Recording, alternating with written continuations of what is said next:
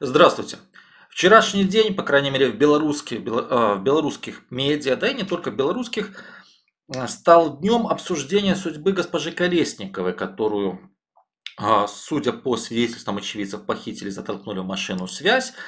И, в принципе, с ней не было никаких, ну, с ней не было связи. Вместе с ней исчезли господин Роденков и Кравцов. Однако были, кстати, заявления в милицию об исчезновении. Милиция заявила, что ищут.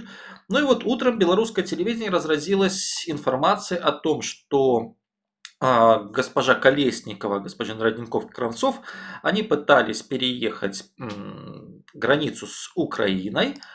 А, и при этом, а, пройдя пограничный контроль, якобы на дополнительном контроле, у них сдали нервы, и они там газанули и пошли, ну, назовем так, на прорыв и, мол, госпожу Колесникову выкинул из машины, а остальные проникли на территорию Украины. Ну вот параллельно идут видео, все, все бы это хорошо. Если бы не одно очень интересное но. Это но, оно называется погранпереход, на котором проходило, проходили эти события, якобы. Итак, этот погранпереход, это погранпереход Вильча Александровка на белорусско-украинской границе.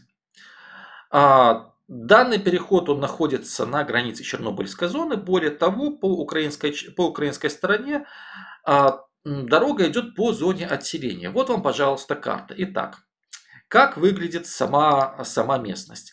А, сам погранпереход находится на белорусской стороне до деревни Александровка. То есть жители деревни Александровка, они ну, скажем так, э, для того, чтобы попасть домой, они пользуются в том числе, ну, проходят через пограничный переход, но, правда, не оформляются.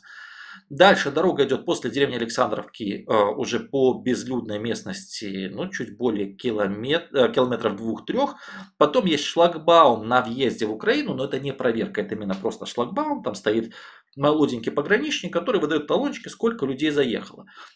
И потом, проехав достаточно большое количество времени, ты, ты попадаешь на, скажем так, э, на пограничный переход Вильча, который уже находится фактически в зоне отселения.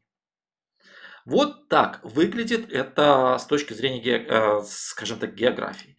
Теперь давайте поговорим о том, что это могло быть и мог ли бы быть так называемый прорыв. А, Вопрос в том, что на пограничном переходе Вильча, вот там а, кадры, которые вы видели, то есть а, есть шлагбаум на въезд, когда ты заезжаешь на пограничный переход, и есть шлагбаум, скажем так, автоматически на выезд, то есть когда ты уже оформился, тебя взяли и пропустили. Все. То есть никакого дополнительного пункта, скажем так, проверки, отслеживания его физически не существует. В нормальном, а, скажем так, порядке, при нормальном несении службы, при нормальной охране границы. То есть, еще раз повторяю, что после того, как ты проехал пограничный переход, ты заезжаешь в деревню Александровка. Вы, выехав из деревни Александровка, ты просто едешь по лесу. И все и никаких там шлагбаумов, никакой проверки. То есть ближайший шлагбаум находится уже на украинской территории. Вот он просто, как говорится, за столбиком, где стоит молоденький украинский пограничник, замерзший, скажем так, либо мокрый, если идет дождь и так далее. Как правило, не слишком довольный. Но несет свою службу, несет свою службу хорошо.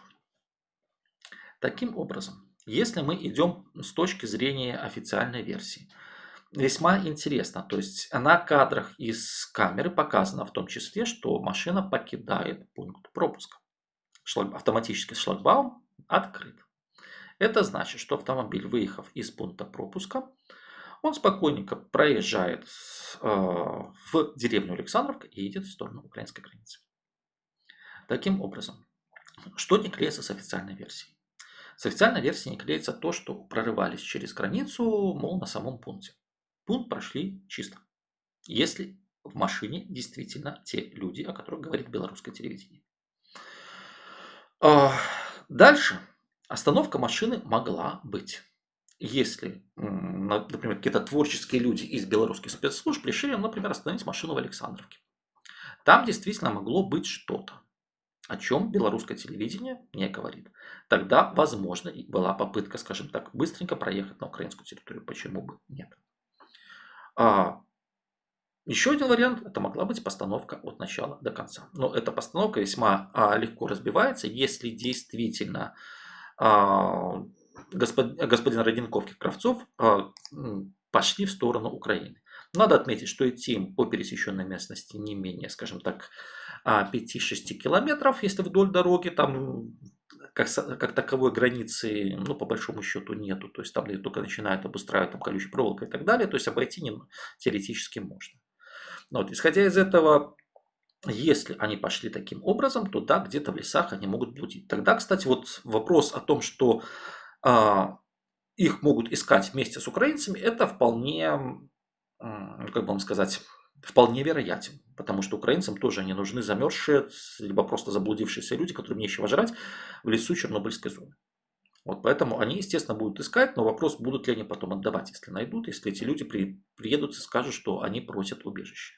Но по делу с похищением пока что, ну, скажем так, очень много не клеится. Потому что если спутники господина Колесникова, госпожи Колесникова приедут, они будут говорить, что было похищение, нас уводили, это одно. В таком случае к ним снова-таки надо будет, им надо будет задавать вопрос, хорошо, если вас вывозили, каким образом, где вас выкинули, где вас высадили, заставили идти в сторону украинской границы, кто? То есть это надо устанавливать.